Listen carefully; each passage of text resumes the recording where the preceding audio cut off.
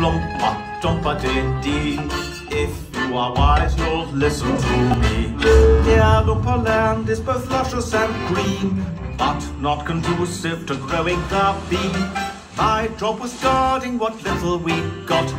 You came along and pinched the lot.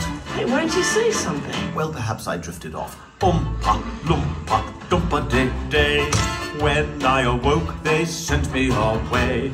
I'm disgraced, cast out in the cold. Till I've paid my friends back a thousandfold. A thousandfold? You gotta be kidding me! I repeat, a thousandfold. Ah, wow. Uh, Mr. Loompa, if you really think that's a reasonable penalty for taking three beans, beans. Four beans, then I'm sure we can come to some sort of understanding, but I can't give you my entire supply. I got people counting on me.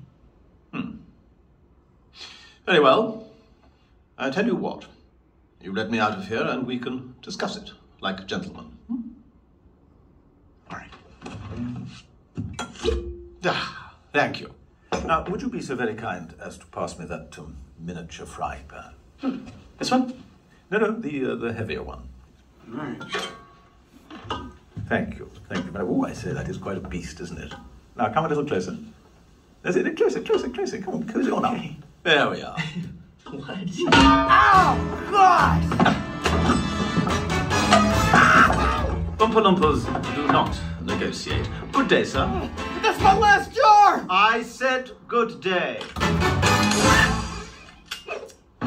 He came back? Yes, this time I set a trap.